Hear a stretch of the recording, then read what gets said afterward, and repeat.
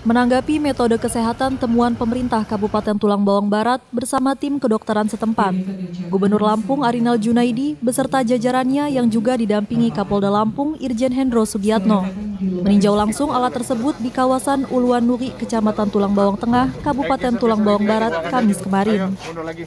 Arinal mengatakan secara non-medis dirinya menyambut baik alat tersebut, yang menurutnya berbagai upaya bisa dilakukan dalam menangani kasus COVID-19.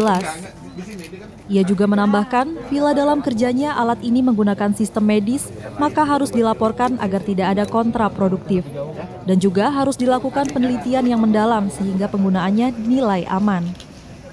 Sementara bila memang dalam kerjanya alat UNTC ini keseluruhannya non-medis, maka bisa dilanjutkan serta bisa diterapkan di setiap kabupaten untuk membantu pemenuhan kesehatan masyarakat.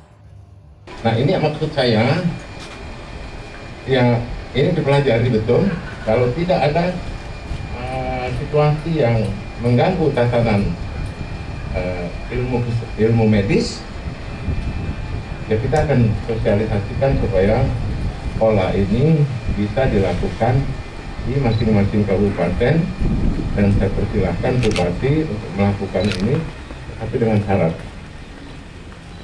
Jangan ada di dalam ruangan itu campur ini, campur ini, campur ini, campur ini gitu loh. Kalau tidak ada,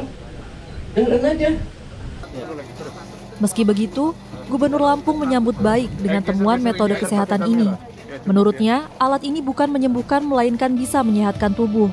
Yang diharapkan juga bisa memberikan kesehatan yang membaik bagi warga yang terpapar COVID-19. Rian F. Winarta, Kompas TV, Lampung.